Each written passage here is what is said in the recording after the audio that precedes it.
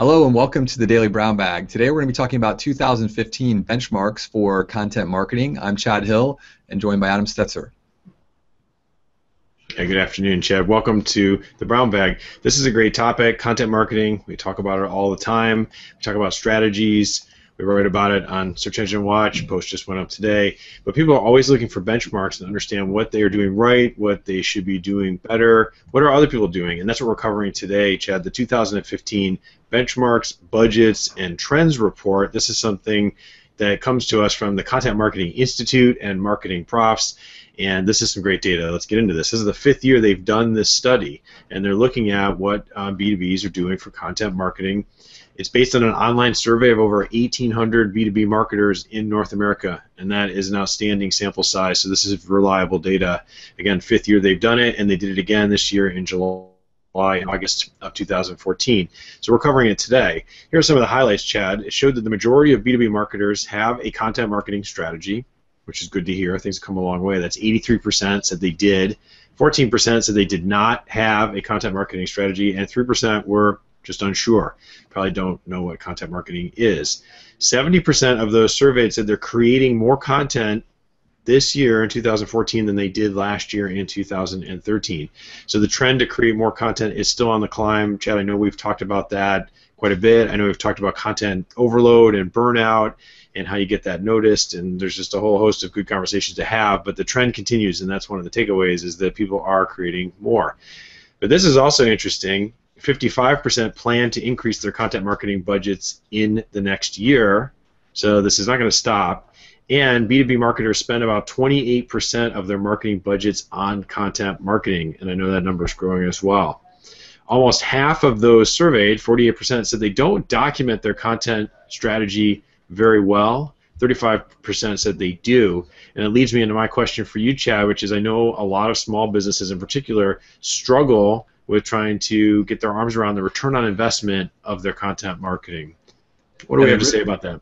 They really do, and you know this this survey really is chock a block full with some really interesting stats that confirm a lot of the things that you know we see on a daily basis. But it's good to see the numbers and realize that we're not alone in, in this in this process here.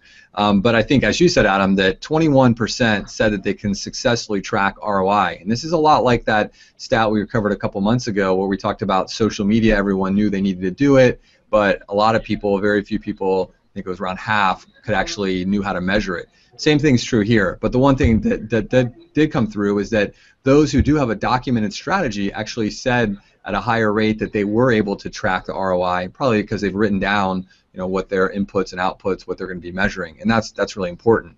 Um, in terms of creating quality content, people said that that really is one of the biggest challenges. 69 uh, percent said that their top priority is figuring out how to create better content. And Adam, again, as you said, as the as the amount of content has increased and more and more people are using content marketing, you know, the bar has is, is higher. It's harder than ever to really create um, something u- new and unique.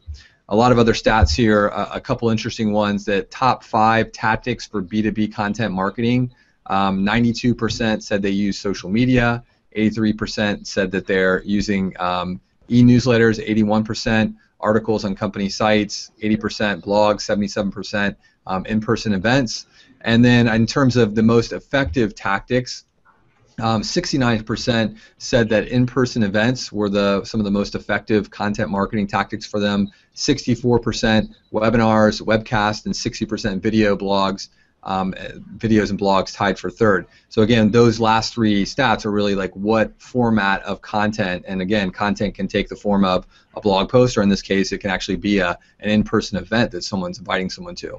Uh, so I think the main takeaways from this are that there is a lot of content out there, um, but the real key here is having a documented uh, process in place is really key. And again, as we said, 60% of those who have a documented strategy in place said that their their content marketing is highly effective, versus 32% who didn't have a strategy said that it was highly effective. So real big difference there. Um, again, this starts with with uh, quality research, high quality research, um, great content, editorial, video, whatever you're doing. Um, building that editorial calendar and schedule in terms of not only what you're writing but how you're going to promote it And then, of course, at the end, you need to track and measure. And I think those are more and more, you really need to track and measure traffic to your website, leads, um, engagement, some brand uh, awareness. So these are all things that are often really hard to measure, and it's no different here with content marketing. Well, great. Well, that's our coverage of the 2015 benchmarks, budgets, and trends report for B2B content marketing, a survey of over 1,800 B2B marketers in North America done by the Content Marketing Institute earlier this year. We appreciate you joining us. We'd like to hear your comments and your thoughts on the trends and direction you see content marketing going, and how are you using it with your small business clients. We always want to hear that. And lastly, we hope you'll subscribe to our videos so that we can see you again real soon.